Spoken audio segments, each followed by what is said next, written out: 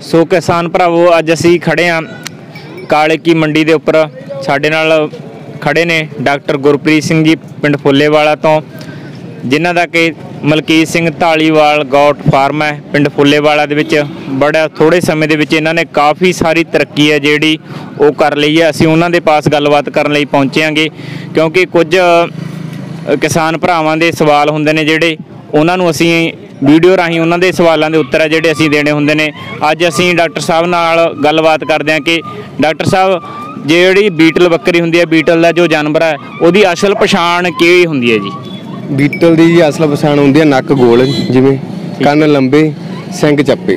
ਠੀਕ ਹੈ ਜੀ। ਠੀਕ ਹੈ ਜੈਡ ਬਲੈਕ ਉਹਨੂੰ ਬੀਟਲ ਮੰਨਿਆ ਜਾਂਦਾ ਜੀ। ਇਹ ਜੈਡ ਬਲੈਕ ਕਿਹਦੇ ਵੱਲੋਂ ਮੰਨਿਆ ਜਾ ਰਿਹਾ ਜੀ? ਯੂਨੀਵਰਸਿਟੀ ਵੱਲੋਂ ਜੀ। ਯੂਨੀਵਰਸਿਟੀ ਵੱਲੋਂ ਯੂਨੀਵਰਸਿਟੀ ਵੱਲੋਂ ਜਿਹੜੀ ਵੀ ਜਨ ਮੰਨ ਲਓ ਆਪਾਂ ਪੰਜਾਬੀ ਦੇ ਵਿੱਚ ਆਮ ਸਾਰੀ ਕਾਲੀ ਬੱਕਰੀ ਕਹਿ ਦਿੰਦੇ ਆ ਉਹਨੂੰ ਯੂਨੀਵਰਸਿਟੀ ਬੀਟਲ ਮੰਨਦੀ ਹੈ। ਜਿਵੇਂ ਮੰਨ ਲਓ ਡੱਬੀਆਂ ਹੋ ਗਈਆਂ ਲਾਲ ਡੱਬੀਆਂ ਹੋ ਗਈਆਂ ਕਾਲੀਆਂ ਕਾਲੀਆਂ ਤੇ ਚਿੱਟੀਆਂ ਹੋ ਗਈਆਂ। ਇਹਨੂੰ ਕ੍ਰਾਸ ਬੀਟਲ ਮੰਨਿਆ ਜਾਂਦਾ। ਕ੍ਰਾਸ ਬੀਟਲ ਮੰਨਿਆ ਜਾਂਦਾ ਇਹ ਬੀਟਲ ਚ ਨਹੀਂ ਆਉਂਦੀਆਂ ਇਹ ਕ੍ਰਾਸ ਬੀਟਲ ਚ ਆ ਜਾਂਦੀ ਹੈ। ਠੀਕ ਹੈ ਜੀ। ਹਾਂਜੀ। ਤੇ ਡਾਕਟਰ ਸਾਹਿਬ ਇੱਕ ਵਪਾਰੀ ਵੀਰਾਂ ਵੱਲੋਂ ਕੁਝ ਬਖਰੇਵੇਂ ਆ ਜਿਹੜੇ ਉਹ ਪਾਏ ਜਾ ਰਹੇ ਨੇ। ਜਿਸ ਤਰ੍ਹਾਂ ਕਿ ਕਹਿ ਲਈਏ ਜਿਸ ਤਰ੍ਹਾਂ ਸਾਡੇ ਕੁਝ ਨੌਜਵਾਨ ਵੀਰ ਨਵੇਂ ਆ ਜਿਹੜੇ ਉਹ ਇਹ ਫਾਰਮ ਦਾ ਧੰਦਾ ਅਪਣਾਉਣਾ ਚਾਹੁੰਦੇ ਨੇਗੇ।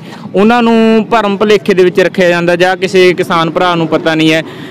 ਲਾਲ ਜਾਂ ਚਿੱਟੀ ਅੱਖ ਦਾ ਭੁਲੇਖਾ ਪਾਇਆ ਜਾਂਦਾ। ਤੁਸੀਂ ਇਸ ਗੱਲ ਨੂੰ ਕਿੱਥੇ ਤੱਕ ਦਰੁਸਤ ਮੰਨਦੇ ਹੋ ਜਾਂ ਤੁਹਾਡਾ ਕੀ ਕਹਿਣਾ ਇਸ ਬਾਰੇ ਜੀ? ਦੇਖੋ ਇਹ ਯੂਨੀਵਰਸਿਟੀ ਵੱਲੋਂ ਆ ਲਾਲ ਤੇ ਚਿੱਟੀ ਅੱਖ ਦਾ ਕੋਈ ਨਹੀਂ। ਲਾਲ ਅੱਖ ਵਾਲੀ ਬਿਟਲੀ ਆ ਜੇ ਜੈਡ ਬਲੈਕ ਆ। ਠੀਕ ਹੈ ਚਿੱਟੀ ਅੱਖ ਵਾਲੀ ਬਿਟਲ ਇਹ ਵਪਾਰੀ ਬੰਦਿਆਂ ਦੀ ਭੁਲੇਖਾ ਪਾਇਆ ਹੋਇਆ।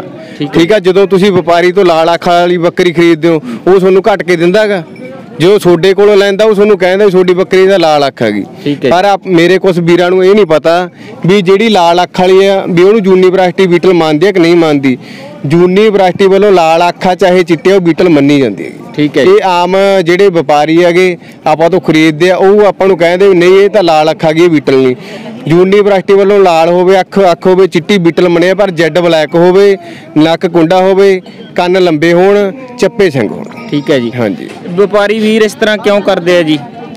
ਦੇਖੋ ਜੀ ਕੋਈ ਵੀ ਅਜੇ ਮੰਨ ਲਓ ਹੁਣ ਆਪਾਂ ਬੱਕਰੀ ਲੈਣ ਜਾਂਦੇ ਆ ਆਪਾਂ ਨੂੰ ਵੀ ਆਪਾਂ ਵੀ 100 ਢੰਗ ਤਰੀਕੇ ਬਣਾਉਣੇ ਆ ਵੀ ਕਿਸੇ ਹਿਸਾਬ ਨਾਲ ਅਗਲਾ ਆਪਾਂ ਨੂੰ ਘੱਟ ਰੇਟ 'ਚ ਦੇਵੇ। ਹਾਂਜੀ। ਕਿਉਂਕਿ ਵਪਾਰੀ ਨੇ ਕੋਈ ਨਾ ਕੋਈ ਤਾਂ ਘਾਟ ਤੁਹਾਨੂੰ ਕੱਢਣੀ ਹੁੰਦੀ ਤੁਹਾਡੀ ਬੱਕਰੀ ਤਾਂ ਹੀ ਤੁਸੀਂ ਘੱਟ ਦਿਓਗੇ। ਠੀਕ ਹੈ ਜੀ। ਪਰ ਮੇਰੇ ਵੀਰਾਂ ਨੂੰ ਕਈਆਂ ਨੂੰ ਪਤਾ ਨਹੀਂ ਵੀ ਜਿਹੜੀ ਲਾਲ ਅੱਖ ਵਾਲੀ ਬੱਕਰੀ ਆ ਵੀ ਉਹ ਬੀਟਲ ਨਹੀਂ ਬੀਟਲ ਮੰਨੀ ਜਾਂਦੀ ਆ ਜਾਂ ਨਹੀਂ ਮੰਨੀ ਜਾਂਦੀ। ਹੈ। ਯੂਨੀਵਰਸਿਟੀ ਵੱਲੋਂ ਕੋਈ ਇਹੋ ਜੀ ਗੱਲ ਨਹੀਂ ਲਾਲ ਆ ਚਾਹੇ ਤੁਹਾਡੀ ਬੱਕਰੀ ਦੀ ਅੱਖ ਚਿੱਟੀ ਆ ਬੀਟਲ ਦਾ ਬੀਟਲ ਹੀ ਹੈ ਠੀਕ ਹੈ ਜੀ। ਤੇ ਡਾਕਟਰ ਸਾਹਿਬ ਇਹ ਵੀ ਪੁੱਛਣਾ ਚਾਹਾਂਗੇ ਇਹਨਾਂ ਗੱਲਾਂ ਦਾ ਨਵੇਂ ਵਪਾਰੀ ਵੀਰਾਂ ਤੇ ਨਵੇਂ ਕਿਸਾਨ ਭਰਾਵਾਂ ਤੇ ਨਵੇਂ ਫਾਰਮਰਾਂ ਤੇ ਕੀ ਅਸਰ ਪੈਂਦਾ ਜੀ? ਨਵੇਂ ਫਾਰਮਰਾਂ ਤੇ ਅਸਰ ਪੈਂਦਾ ਬਈ ਜਿਹੜੇ ਬੰਦੇ ਟ੍ਰੇਨਿੰਗ ਨਹੀਂ ਲੈਂਦੇ। ਉਹਨਾਂ ਨੂੰ ਆਮ ਲੋਕਾਂ ਤੋਂ ਸੁਣ ਲੈਂਦੇ ਵੀ ਨਹੀਂ ਯਾਰ ਜਿਹੜੀ ਚਿੱਟੀ ਅੱਖ ਵਾਲੀ ਆ ਉਹ ਬੱਕਰੀ ਅੱਜ ਕੱਲ ਚੱਲਦੀ ਆ ਉਹ ਬੀਟਲ ਆ ਕਿਉਂਕਿ ਉਹਨਾਂ ਨੂੰ ਦੱਸਿਆ ਨਹੀਂ ਜਾਂਦਾ। ਉਹਨਾਂ ਨੂੰ ਪਤਾ ਨਹੀਂ ਵੀ ਜਿਹੜੀ ਪਿਓਰ ਇਹਦੀ ਬੀਟਲ ਦੀ ਪਿਓਰਟੀ ਦਾ ਨਹੀਂ ਪਤਾ। ਬੀਟਲ ਦੀ ਪਿਓਰਟੀ ਦਾ ਅੱਖ ਦਾ ਕੋਈ ਸੰਬੰਧ ਨਹੀਂ। ਲਾਲ ਆ ਚਾਹੇ ਚਿੱਟੀ ਆ ਜਿਵੇਂ ਆਪਾਂ ਤੁਹਾਨੂੰ ਨਿਸ਼ਾਨੀਆਂ ਦੱਸਿਆ ਵੀ ਇਹ ਜੈਡ ਬਲੈਕ ਹੋਣੀ ਚਾਹੀਦੀ ਆ ਜਿਹੜਾ ਇਹਦਾ ਨਾਕਾ ਗੋਲ ਹੋਣਾ ਚਾਹੀਦਾ ਸਿੰਘ ਚੱਪੇ ਹੋਣੇ ਚਾਹੀਦੇ ਕੰਨ ਲੰਬੇ ਹੋਣੇ ਚਾਹੀਦੇ। ਤੇ ਡਾਕਟਰ ਸਾਹਿਬ ਅਸੀਂ ਤੁਹਾਡੇ ਪਾਸੋਂ ਬਰੀਡ ਬਾਰੇ ਵੀ ਜਾਣਨਾ ਚਾਹਾਂਗੇ। ਕਈ ਵਾਰ ਕੀ ਹੁੰਦਾ ਕੀ ਹੈ ਜੋ ਦੇਸੀ ਬੱਕਰੀ ਹੁੰਦੀ ਹੈ ਉਹਦਾ ਵੀ ਪਿਓਰ ਦੇ ਨਾਲ ਕੰਪੈਰੀਜ਼ਨ ਕਰਿਆ ਜਾਂਦਾ ਜਾਂ ਵਪਾਰੀ ਵੀਰ ਆਉਂਦੇ ਆਗੇ ਫਰਜ਼ ਕਰ ਲਓ ਜੇ ਪਿਓਰ ਜਾਨਵਰ ਹੈ ਉਹਦੀ ਕੀਮਤ ਨੀਚੇ ਤੋਂ ਲਗਾਈ ਜਾਂਦੀ ਹੈਗੀ। ਤੁਹਾਡਾ ਕੀ ਕਹਿਣਾ ਇਸ ਬਾਰੇ ਜੀ? ਦੇਖੋ ਜਿਹੜਾ ਸਹੀ ਵਪਾਰੀ ਆ ਉਹਨੂੰ ਤਾਂ ਦੇਖੋ ਬਰੀਡ ਬਾਰੇ ਪਤਾ ਹੀ ਹੁੰਦਾਗਾ। ਹਾਂਜੀ। ਵੀ ਇਹ ਕਿਹੜੀ ਬਰੀਡ ਆ? ਜਿਹੜੇ ਆਮ ਬੰਦੇ ਹੈਗੇ ਆਪਾਂ ਜਿਨ੍ਹਾਂ ਨੂੰ ਬਰੀਡ ਬਾਰੇ ਪਤਾ ਨਹੀਂ। ਉਹ ਜ਼ਰੂਰ ਇਹਦਾ ਕੰਪੈਰੀਜ਼ਨ ਕਰ ਲੈਂਦੇ ਆ ਵੀ ਯਾਰ ਦੂਸਰੀ ਬੱਕਰੀ ਤਾਂ ਉਹਨੇ ਲੈਤੀ ਹੈਗੀ 15000 ਦੀ ਤੁਸੀਂ ਮੰਗੀ ਇਹਨੂੰ 60000 ਰੁਪਿਆ ਕਿਉਂਕਿ ਉਹਨਾਂ ਨੂੰ ਬਰੀਡ ਬਾਰੇ ਨਹੀਂ ਪਤਾ। ਉਹ ਜਿਹੜੇ ਬੰਦਿਆਂ ਨੂੰ ਬਰੀਡ ਬਾਰੇ ਨਹੀਂ ਪਤਾ ਉਹ ਹਰ ਇੱਕ ਚੀਜ਼ ਨੂੰ ਕਾਟੂ ਦੇ ਭਾਈ ਤੋਲ ਲੈਂਦੇ ਆ। ਠੀਕ ਹੈ ਜੀ। ਉਹਦਾ ਇਹ ਫ਼ਰਕ ਆ ਜੀ। ਕਿਉਂਕਿ ਹੁਣ ਮੰਨ ਲਓ ਆ ਬੱਕਰੀ ਹੈਗੀ ਇਹਦੀ ਪਿਓਰਟੀ ਹੈਗੀ।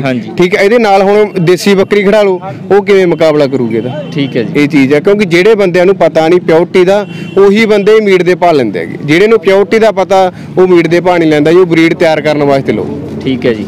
ਸੋ ਡਾਕਟਰ ਗੁਰਪ੍ਰੀਤ ਸਿੰਘ ਜੀ ਬਹੁਤ ਬਹੁਤ ਧੰਨਵਾਦ ਤੁਹਾਡਾ ਤੁਸੀਂ ਸਾਡੇ ਇੱਲਤੀ ਲਾਣਾ ਟੀਵੀ ਚੈਨਲ ਨਾਲ ਵਿਸ਼ੇਸ਼ ਤੌਰ ਤੇ ਗੱਲਬਾਤ ਕੀਤੀ ਜੀ। ਧੰਨਵਾਦ ਜੀ ਬਹੁਤ ਬਹੁਤ